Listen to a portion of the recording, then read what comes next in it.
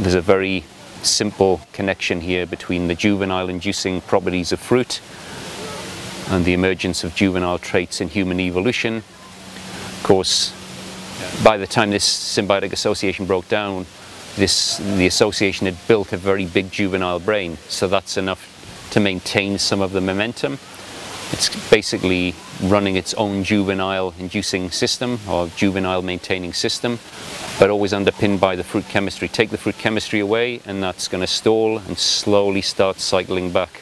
And I think that's exactly what's going on. We're at the wrong end of a process where an incredibly unique relationship had created a very large layer of juvenile neural tissue that was keeping us juvenile and creating more of its own kind of structure, giving us all sorts of unusual traits, perhaps extended longevity. I mean, another area to look at is how juvenile tissue in a simplistic way doesn't age in the same way. Aging begins with specialization and differentiation in a, in a, in a simplistic sense. So again, our own sex, sex steroids.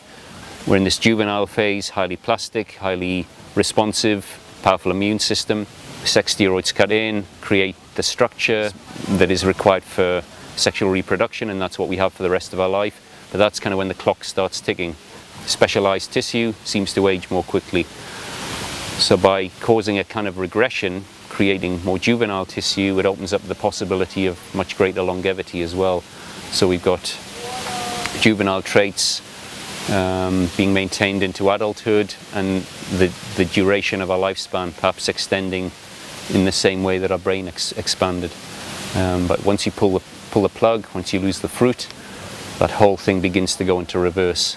Rather interestingly, it looks like one side of our brain loses that juvenile state more quickly than the other, begins moving back to a more typical specialized structure without these unique traits and without the ability to maintain a juvenile phase. And as it paradoxically ends up in charge, it accelerates its own reversion to a more primitive type.